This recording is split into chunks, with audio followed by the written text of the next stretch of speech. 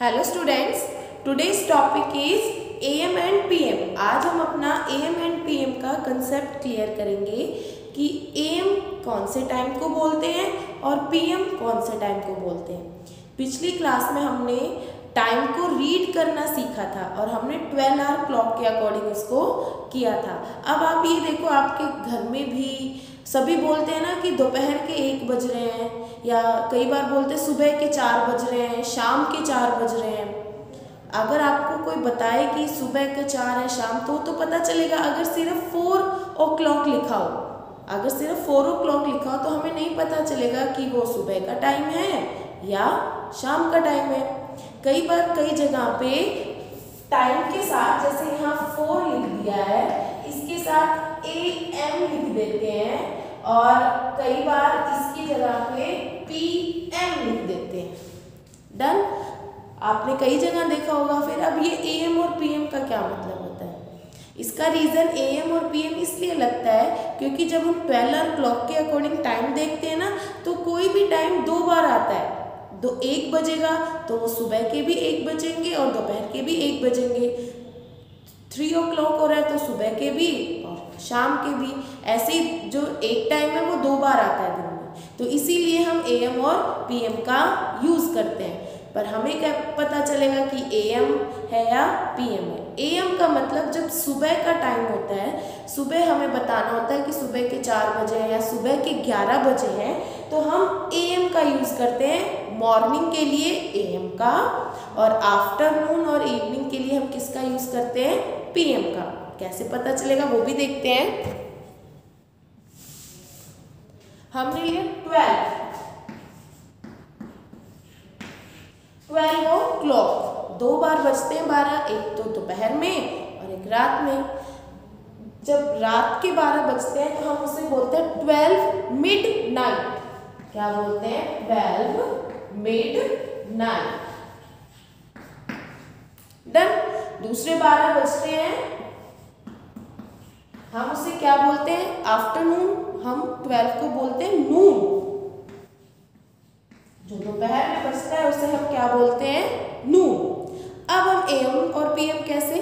रात के बारह बजे से लेकर, यानी रात के बारह बजे से लेकर दोपहर के बारह बजे तक, यानी बारह के बाद एक बजेगा, फिर दो, तीन, चार, पाँच छः ऐसे करते हुए जब दोपहर के बारह बजते हैं, उससे पहले का, यानी रात के बारह बजे से लेकर दोपहर के, यानी नून के ट्वेल्व ओ क्लॉक तक हम क्या लिखते हैं? ए एम यानी सुबह का टाइम ठीक है? कहीं पे अगर लिखा रहेगा इलेवन फोर्टी ए एम अगर ए एम लिखा रहेगा, यानी वो मॉर्निंग का टाइम है।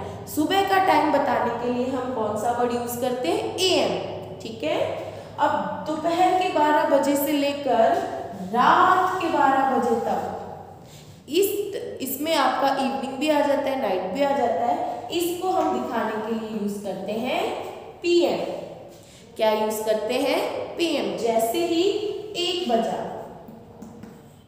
अगर वहाँ पे पीएम लिखा है, एक के बाद तो ये हो जाएगा कि ये है आफ्टरनून दोपहर के एक बज रहे हैं ओके और अगर ये इलेवन लिखा है इलेवन फोर्टी लिखा है, जैसे इलेवन फोर्टी यहाँ भी इलेवन फोर्टी यहाँ भी, यहाँ एम लिखा है, यानी ये सुबह के ग्यारह बज के चालीस मिनट है, और अगर यहाँ पी एम लिखा है, यानी ये रात के ग्यारह बज के चालीस मिनट है। अगेन आई रिपीट सुबह का टाइम बताने के लिए हम ए एम वर्ड यूज़ करते हैं यानी दोपहर के 12 बजे तक। हम जो टाइम होता है, सुबह का टाइम और दोपहर के 12 बजे तक, यानी रात के 12 बजे से लेकर दिन के दोपहर के 12 बजे तक का टाइम बताना होता है तो हम ए एम का यूज़ करते हैं, ठीक है?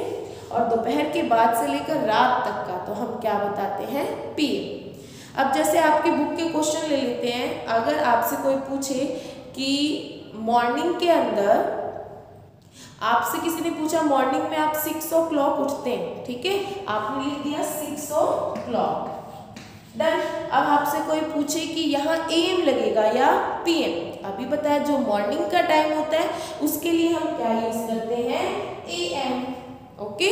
फिर आपसे कोई खेल बोले कि आप शाम को पाँच बजे खेलने जाते हैं। फाइव ओ क्लॉक पाँच बजे आप खेलने गए तो ये कौन सा है? ए एम है या पी एम है? अभी हमने किया ना कि दोपहर के बारह बजे तक तो ए एम होगा। जैसे ही दोपहर के बाद एक बजेगा तो वो किसमें आ जाता है? पी एम में। तो शाम का टाइम भी किसमें आ जाएगा? P M done? तो आज हमारा ए एम और पी एम का है। इससे रिलेटेड जितने क्वेश्चन है, वो आप अपने बुक के अंदर ही करेंगे। Thank you